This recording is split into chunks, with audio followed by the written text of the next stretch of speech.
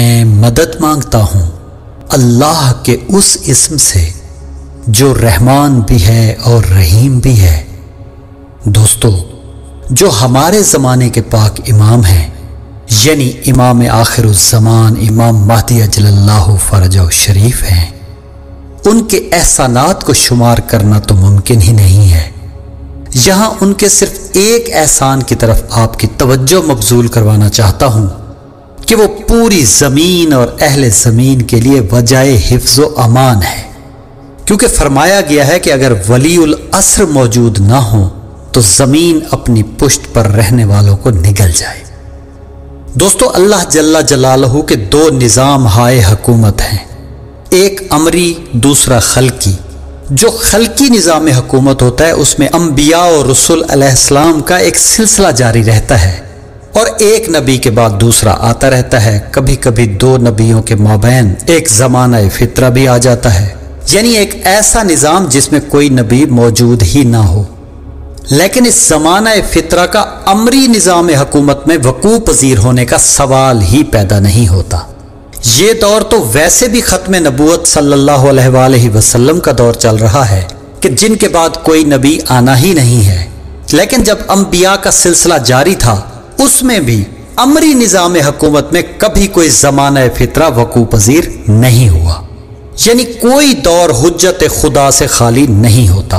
क्योंकि अगर जमाना हजत खुदा से खाली हो जाए तो फिर ये कायनात एक सेकंड के अरबवें हिस्से के लिए भी बाकी नहीं रह सकती। क्योंकि इरशाद है कि अगर एक लम्हे के लिए भी ज़मीन हुज्जतुल्लाह अमरी से खाली हो जाए तो यह ज़मीन अपनी पुष्ट पर रहने वालों को निगल जाए।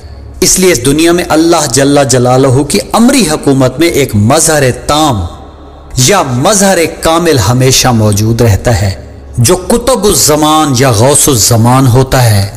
अगर खलकी हुकूमत के किसी नुमाइंदे को कभी कहीं किसी मकाम पर कोई मुश्किल पेश आई और उसने अल्लाह जल्ला जलालहू को पुकारा तो मदद के लिए उस दौर की अमरी हुकूमत के मजहर कामिल तशरीफ़ लाए। और इस मौजूदा दौर में अमरी हुकूमत के हाकिम गौसुज़मान हमारे शहनशाह इमाम ज़माना, इमाम महदी अजल्ला फ़रज शरीफ हैं और अल्लाह जल्ला जलालहू इन्हीं से आलम खल की हिफाजत करवाता है।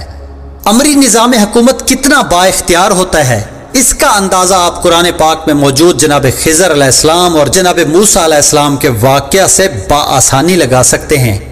कि जब जनाब मूसा अलैहिस्सलाम को जनाब खिजर अलैहिस्सलाम से मुलाकात का हुक्म मिला और उन्होंने मिलकर सफ़र किया, मगर वहाँ आप देखें जनाब मूसा अलैहिस्सलाम उस जमाने के नबी भी हैं, कलीम भी हैं, साहिब शरीयत रसूल भी हैं अम्बियाए बनी इसराइल में से सबसे बुलंद मकाम पर फायज भी हैं, मगर इस सफ़र में वो जनाब खिजर अलैहिस्सलाम पर हाकिम नहीं हैं, बल्कि महकूम की तरह हैं और जनाब खिजर अलैहिस्सलाम ना ही नबी हैं और ना ही रसूल हैं। मगर एक नबी और रसूल पर हाकिम हैं और बार बार डांट भी रहे हैं।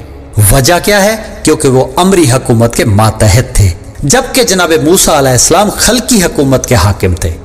और अमरी हकूमत इस दर्जा बाख्तियार है कि उसका एक आम नुमाइंदा खल हकूमत के नबी पर हाकिम नज़र आता है। यानी अमरी हकूमत खल हकूमत से अफजल होती है। इसकी वजह यह है कि वो हमेशा बिला वास्ता खातिमुलम्बिया सल्लल्लाहु अलैहि वसल्लम से मुंसलिक होती है।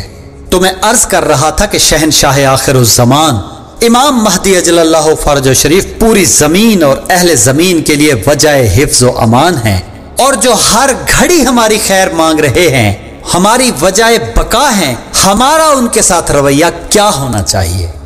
दोस्तों, फ़कीर बेशक खाली दामन होता है। अपने मोहसिन का शुक्रिया अदा करने के लिए उसके पास कुछ भी नहीं होता। फिर भी वो अपनी औकात से बढ़कर कदम कदम पर अपने मोहसिन को दुआएँ देता चला जाता है। दोस्तों, सोचने वाली बात यह है कि हमारा रवैया अपने मोहसिन के साथ कैसा है।